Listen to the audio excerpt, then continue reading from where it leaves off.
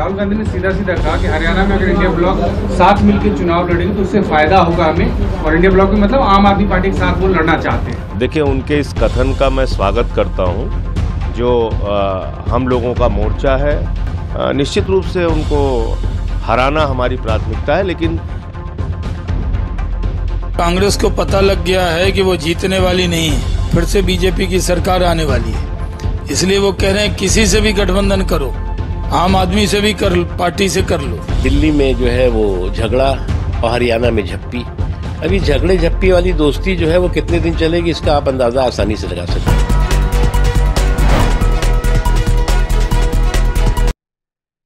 दोस्तों नमस्कार। मेरा नाम संजय मग्गू है और मौजूद हैं देश रोज़ाना के डिजिटल मीडिया मंच पर। आपके साथ मौजूद हूँ हरियाणा विधानसभा चुनाव के एक ऐसे मुद्दे और एक ऐसे मसले को लेकर जो इस समय सबकी ज़ुबान पर है।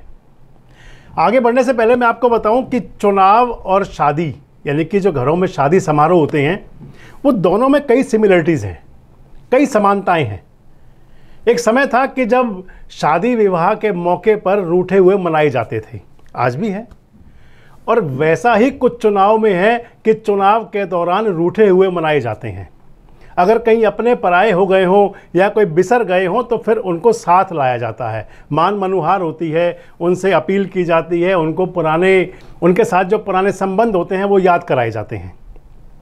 और एक प्रकार से नए रिश्ते जोड़े जाते हैं। आप इसे कुछ यूँ भी मान सकते हैं कि जब चुनाव आता है तो चुनाव के दौरान में नए नए गठबंधन होते हैं, जिन्हें आप प्रेम विवाह कह सकते हैं। चुनाव के दौरान में कुछ रिश्ते जुड़ते हैं जो लिव इन वाले होते हैं। आजकल एक नया नाम है लिव इन का। और दूसरे रिश्ते जुड़ते हैं प्रेम विवाह वाले।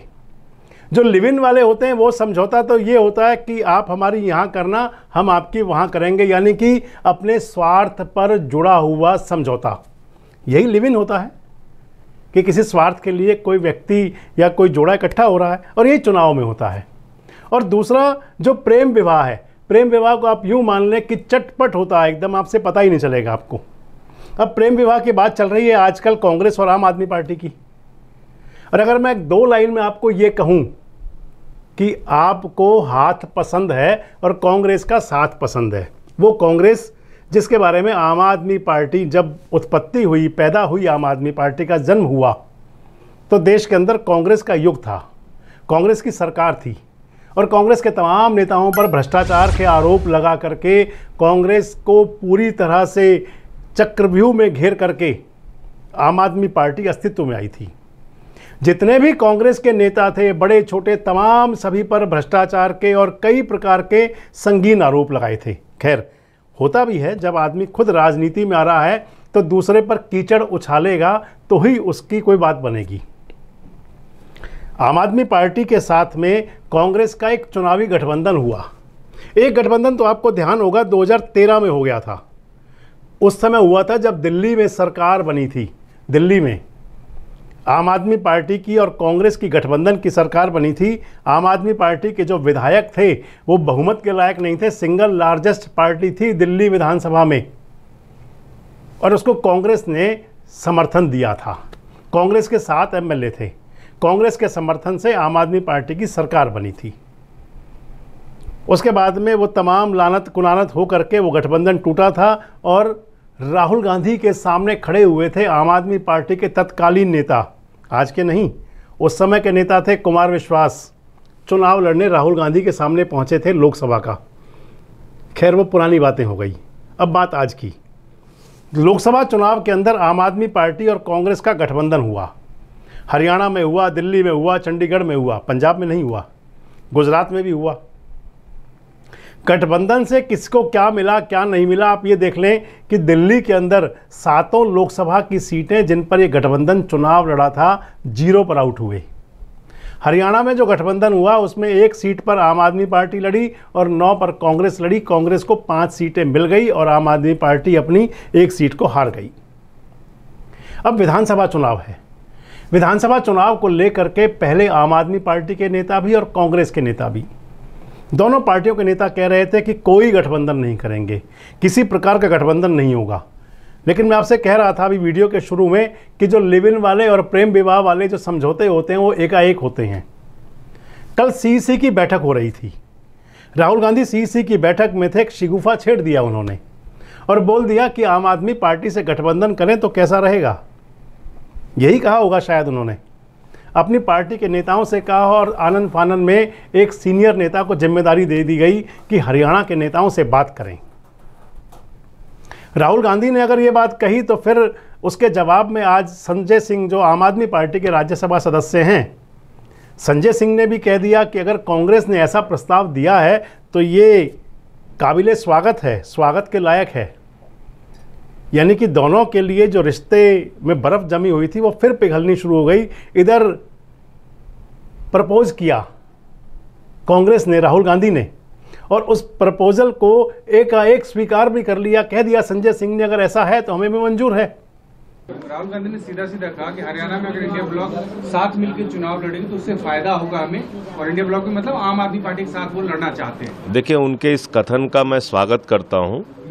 और निश्चित रूप से भारतीय जनता पार्टी को हराना हम सबकी प्राथमिकता है, उनकी नफरत की राजनीति, उनकी जन विरोधी और किसान विरोधी राजनीति, नौजवानों के खिलाफ उनकी राजनीति को, महँगाई के खिलाफ जो हम लोगों का मोर्चा है निश्चित रूप से उनको हराना हमारी प्राथमिकता है, लेकिन इसके बारे में आधिकारिक रूप से जो हमारे प्रभारी हैं हरियाणा के संदीप पाठक जी और सुशील गुप्ता जी वो लोग इसके बारे में अंतिम फैसला बातचीत करके और इसकी सूचना केजरीवाल साहब को देंगे और उस हिसाब से निर्णय लिया जाएगा। मतलब मैंने कहा कि आपने उनके एक वक्तव्य का ज़िक्र किया लेकिन इसके बारे में कोई भी फैसला जो हमारे हरियाणा का संगठन का काम और चुनाव का काम जो लोग देख रहे हैं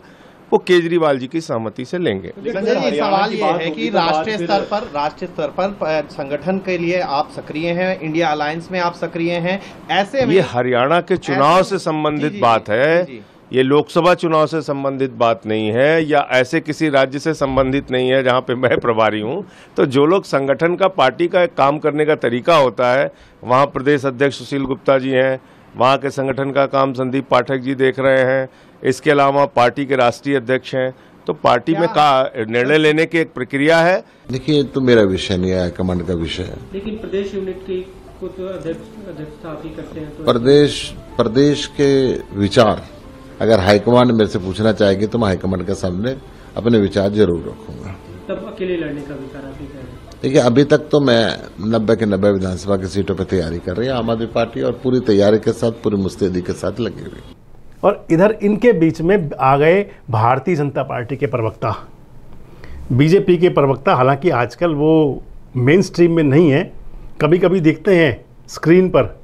आज उन्होंने कहा कि क्योंकि कांग्रेस को दिख रहा है कि हमारी सरकार नहीं आ रही, इसलिए साथ जुड़ रहे हैं। खैर अब बात दोस्तों ये आ जाती है कि एकाएक जिन दोनों पार्टियों में ये चल रहा था, चुनाव से पहले दोनों पार्टियाँ रैलियाँ कर रहे थे, दोनों पार्टियाँ एक दूसरे पर आरोप भी लगा रहे हैं।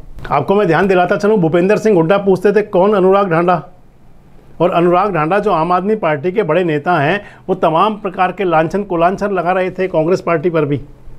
लेकिन अब कल बात चली और आज जैसे वो सब कुछ नया नवेला हो गया और ऐसा लग रहा है कि जैसे गठबंधन की राह पर, प्रेम विवाह की राह पर दोनों ये बढ़ रहे हैं।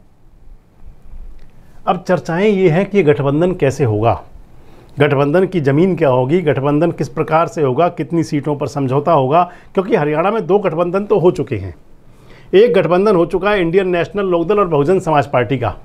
जब ये गठबंधन हुआ था तो उस समय इनेलो के सुप्रीमो अभय सिंह चौटाला ने कहा था कि हरियाणा में तीसरा मोर्चा बनाएँगे। तीसरे मोर्चे में आम आदमी पार्टी को भी लेंगे, ये बात भी चली थी, लेकिन वो बात हो ना सकी। अभी हाल ही में दुष्यंत चौटाला का गठबंधन हुआ।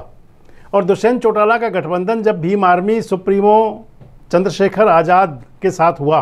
जो गठबंधन जननायक जनता पार्टी का, जननायक जनता पार्टी के सुप्रीमो दुष्यंत चौटाला के द्वारा और आज़ाद समाज पार्टी काशीराम के नेता हैं चंद्रशेखर आज़ाद, रावण के नाम से फ़ेमस हैं। जब इनका गठबंधन हुआ तो इन्होंने भी कहा कि तीसरा मोर्चा हम बनेंगे। अब इधर आम आदमी पार्टी ने इन दोनों मोर्चों की तरफ़ बढ़ने की बजाय, अगर कांग्रेस ने हाथ बढ़ाया तो आम आदमी पार्टी को भी ये हाथ पसंद आ रहा है। मैं आपको वही बता रहा था कि आखिर बुनियाद क्या हो सकती है समझौते की। हरियाणा में नब्बे विधानसभा की सीटें हैं। नब्बे विधानसभा की सीटों के हिसाब से दस लोकसभा की सीटें हैं। अगर उसको डिवाइड करें तो एक लोकसभा में नौ विधानसभा की सीटें आती हैं। अभी जब गठबंधन की साम, बात सामने आई तो कांग्रेस की तरफ़ से एक बात चली कि कांग्रेस आम आदमी पार्टी को तीन चार सीट दे सकती है और तीन चार सीट पर आम आदमी पार्टी मानेगी नहीं। कांग्रेस के एक नेता से मेरी बात भी हो रही थी प्रदेश लेवल के नेता हैं वो कह रहे थे कि ये समझौता जो है जिस आधार पर लोकसभा का समझौता हुआ था उसी आधार पर हो सकता है।